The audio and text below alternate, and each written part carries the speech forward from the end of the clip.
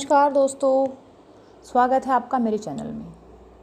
दोस्तों, आज हम बात करेंगे पहला करवा चौथ किस प्रकार रखा जाता है, जिनकी नई नई शादी होती है नई विवाहिता जो होती हैं, वो कैसे व्रत को रखी, जिनका पहला ही ये करवा चौथ का व्रत होता है। दोस्तों, हमारे हिंदू समाज में प्रत्येक व्रत व त्यौहार अत्यंत महत्वपूर्ण माने जाते हैं। और ज़्यादातर हमारे समाज में घर की सुहागन महिला ही इन सबको विधि विधान से करती हैं, और सबको बताती भी हैं, जो घर में पूरा परिवार होता है, उनसे कराती भी हैं। करवा चौथ का व्रत काफ़ी महत्वपूर्ण माना गया है। कुछ परिवारों में तो ये व्रत विवाह से पूर्व भी लड़कियाँ रखती हैं। परंतु विवाह के बाद तो सभी को रखना ज़रूरी माना गया है, जिससे सुहाग की उम्र लंबी होती है। क्योंकि इस व्रत में पति की जो उम्र होती है, एज होती है, उसको दीर्घायु करने के लिए भगवान से प्रार्थना की जाती है। पौराणिक मतों के अनुसार पहली करवा चौथ पहली दिवाली, पहली होली, कई फेस्टिवल्स ऐसे हैं पहला सावन है, कई ऐसे त्यौहार और भी हैं जो बड़े ही हर्षोल्लास से मनाए जाते हैं। तो नवविवाहिता के लिए पहला करवा चौथ अत्यंत ही महत्वपूर्ण होता है। ये व्रत कार्तिक मास की कृष्ण पक्ष की चतुर्थी में मनाया जाता है। उस दिन सुहागिन महिलाएँ अपने पति की लंबी उम्र के लिए निर्जल व्रत रखती हैं। पूरा दिन निराहार व निर्जल व्रत रखती हैं। ना खाती हैं, ना पीते, पानी भी नहीं पिया जाता। संध्या काल में चंद्रदेव के दर्शन करने के बाद ही बाद सब कुछ पूजन हवन करने के पश्चात अपने पति के दर्शन करने भी करने होते हैं, उसके बाद व्रत खोला जाता है। इस व्रत में कुछ महत्वपूर्ण बातें हैं, जिनका ध्यान रखना अति आवश्यक है। विशेष रूप से उन महिलाओं का, जिनका ये पहला व्रत है। करवा चौथ व्रत कितना कठिन होता है सभी जानते हैं, क्योंकि इसमें हल्का सा भी कुछ खाना पीना नहीं है निराहार रखना होता है, ना इसमें कुछ जल पीना है, ना इसमें कुछ भोजन खाना, अन्न भी नहीं खाना, ना फल फ्रूट कुछ नहीं खाना होता है। वैसे खाने के लिए बहुत सारी औरतें खाती भी हैं, पर प्रथा के हिसाब से जो हमारे पौराणिक मत के हिसाब से नियम बने हैं उसमें ये जो व्रत होता है, ये निराहार और निर्जल रखा जाता है। तो इसमें काफ़ी सावधानी बरतनी होती हैं। तो आइए बात करते हैं वो सावधानी क्या क्या हैं। पहली बार करवा चौथ पर सुहागिन महिलाएँ ब्रह्ममुहूर्त में स्नान करके सर्वप्रथम अपने बड़ों को प्रणाम करें। ये तो जो प्रणाम होता है, वो तो सुबह से बिस्तर से उठने के बाद ही करना अच्छा माना जाता है, क्योंकि नहाने से पहले तो सभी लोग उठ जाते हैं। तो कोशिश कीजिए कि सुबह सुबह जब आप उठते हैं तो बड़ों को प्रणाम करें, उनका आशीर्वाद लें। उसके बाद ही ये व्रत आरंभ करें। और यह भी ध्यान दें कि करवा चौथ व्रत में यह भी ध्यान देने वाली बात होती है कि करवा चौथ के दिन दोपहर में व्रती महिला को सोना नहीं चाहिए। दिन भर उसको जागना होता है, क्योंकि सुमरन करना पड़ता है ये करवा माता का।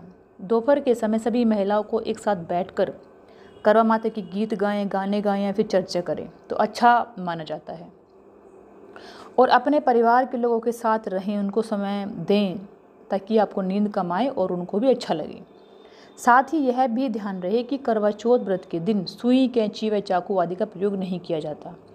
पहली बार करवा चौथ आपके साथ आपका घर परिवार भी काफ़ी महत्वपूर्ण माना जाता है, क्योंकि सभी लोग एक्साइट होते हैं। खुश रहते हैं, पहली बार जब अपनी विवाहिता कोई व्रत रखती है, क्योंकि उस घर में आपका पहला ही व्रत होता है वो। तो घर के सभी सदस्य नई बहू के साथ काम में लगे रहते हैं, तैयारी में जुटे रहते हैं। सास अपनी बहू को सरगी भेंट करती है, कुछ विशेष उपहार भी देती है, जैसे वस्त्र हो गए, गहने हो गए, श्रृंगार हो गए, मिठाई का डिब्बा हो गया। कई स्थानों पर ये सामान नई विवाहिता के घर से भी आता है, मायके से आ जाता है। इन्हें पहनकर नव विवाहिता संध्या की पूजा करती है। चंद्रदेव की पूजा। चंद्रदेव की यह व्रत एक बेटी के लिए, एक बहू के लिए और पत्नी के लिए बेहद ही महत्वपूर्ण माना जाता है। इस दिन नविवाहिता मायके वालों को भी कुछ उपहार में वापस देती है, अगर वहाँ से आता है आपका सरगी वगैरह तो उसे बायना कहते हैं हमारे यहाँ पे तो। ये शुभ माना जाता है कि लड़की वालों के यहाँ से अगर कुछ आया है तो उनको भी ससुराल वाले वापस रख के उसको बायना कहते हैं, वो देते हैं, जो शुभ होता है। करवा चौथ में सरगी का एक विशेष महत्व माना जाता है। सरगी वह होती है जिसमें बादाम, मेवे, काजू, सुहाग का सामान होता है कपड़े भी होते हैं। अन्य सामान है, फल भी जितना बढ़ा सकते हो, बढ़ा सकते हो। उसको इच्छा होती है, हर किसी का अलग अलग पैटर्न या फिर तरीका होता है। यह सरगी ज़्यादातर परिवारों में सास ही अपनी बहू को देती है। यह सास का अपनी बहू को आशीर्वाद माना जाता है। करवा चौथ के दिन सूर्योदय से पहले ही प्रातः लगभग चार बजे महिलाएँ इस सरगी को खाकर अपने व्रत का श्री गणेश करती हैं। कई परिवारों में ऐसा होता है कि सुबह सुबह चार बजे चाय वगैरह कुछ ले लेते हैं, फलाहार भी कर लेते हैं, पर हर परिवार में ऐसा नहीं होता। जिस और जिसको पूरा उसके बाद फिर पूरा दिन निर्जल व निराहार उपवास करना चाहिए। तथा तो चंद्र उदय के बाद उनको देखकर ही चंद्र के दर्शन करें, फिर उसके बाद व्रत खोला जाता है। और हाँ वस्त्र भी लाल रंग के हों तो शुभ माना जाता है। लाल रंग का जोड़ा क्योंकि यह महिला के वैवाहिक जीवन से जुड़ा होता है। अतः आप कोशिश करें कि वस्त्र लाल रंग के हों। विवाह का जोड़ा पहन सकते हैं आप या ज़्यादा शुभ है अगर जोड़ा पहने तो यदि विवाह का जोड़ा न पहन सके तो लाल रंग की साड़ी पहनो, लहंगा पहनो, सूट पहनो, कुछ पहन सकते हैं पर लाल रंग हो, कोशिश कीजिए। क्योंकि लाल रंग सुहाग का प्रतीक व प्रेम का प्रतीक माना जाता है। इसलिए करवा करवा चौथ के दिन लाल रंग ज़्यादातर प्रयोग में करें। वो लाल चूड़ी हो, हर चीज़ मतलब लाल ही इस्तेमाल करने की कोशिश करें। इसके अलावा आप हरा रंग, पीला रंग, गुलाबी रंग भी पहन सकती हैं। अगर किसी के पास लाल साड़ी नहीं है तो परेशान होने की ज़रूरत नहीं, वो इसमें भी एडजस्ट कर सकती हैं। करवा चौथ के व्रत के दिन पति पत्नी वैवाहिक संबंध और दृढ़ता से आगे बढ़ता है। किस दिन पति पत्नी में, क्योंकि पति को पता है, मेरी वाइफ ने मेरे लिए पूरे दिन का व्रत रखा तो पति को अच्छा लगता है, खुशी मिलती है। इस दिन पति, पत्नी, पति के पति के लिए पत्नी पूरा दिन व्रत रखती है, भूखे रहती है तो पति को दुर्गायु की कामना करती है। पत्नी के इस प्यार को देखकर और त्याग को देखकर पति अपनी पत्नी पर गर्व महसूस करता है। पत्नी के इस कठिन व्रत से प्रसन्न होकर वह अपनी पत्नी की तारीफें और सम्मान देता है।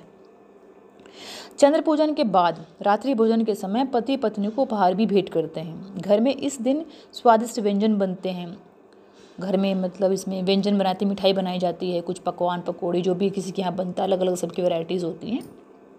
परंतु कुछ पति ऐसे भी होते हैं जो अपनी पत्नी को बाहर खाना खिलाना पसंद करते हैं। ये सबका अपना अपना रिवाज अलग है।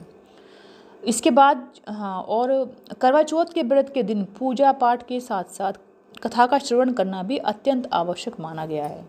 भजन हो गए, माता के गीत हो गए और माता की चर्चा हो गई। इससे जो वातावरण तो पवित्र होता है। घर में एक अच्छा माहौल बन जाता है तो ये सभी को खुशी देता है। और चंद्र की चंद्र की तरह ये हाँ हर किसी की औरत की इच्छा होती है कि मेरा पति चंद्र की तरह गुण वाला हो। हिंदू धर्म के सफ़ेद, हिंदू धर्म में सफ़ेद व काले रंग का रहा। हिंदू धर्म के अंदर सफ़ेद व काले रंग को अशुभ माना जाता है। तो कोशिश कीजिए कि आप इस दिन ज़रा सा भी सफ़ेद या काला रंग का इस्तेमाल ना करें। इसको ना पहने। साथ ही सफ़ेद रंग का दान भी ना करें। कोई कुछ जैसे कोई दान करता है, चीनी, चावल वगैरह, ये सब दान करने से बचे दूध भी दान ना करें। दही भी दान ना करें। तो हमारा आपसे निवेदन है कि जो जानकारी आपको बताई गई हैं, उन पर ध्यान दें और अपने व्रत को सही से मनाएँ। और आशा मैं करती हूँ कि आप औरों को भी ये जानकारियाँ शेयर करेंगे और हमारे चैनल को सब्सक्राइब करेंगे। धन्यवाद दोस्तों, हैप्पी करवा चौथ।